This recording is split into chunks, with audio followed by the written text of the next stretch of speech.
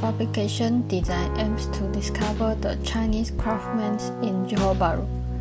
As time changes, crafts in Johor Bahru are fading out.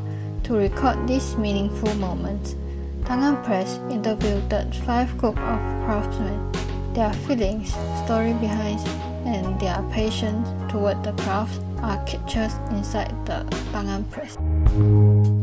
It is designed in newspaper form because newspaper is containing written information about current story and cover a lot of readers. It is not meant only for Chinese but also for different races and nationality. Understand that we have an incredible range of craft skill in Johor Bahru and some of the best craftsmen in Malaysia. These skills will only survive if they live in each generation. Press hopes to capture these meaningful moments through words and photos.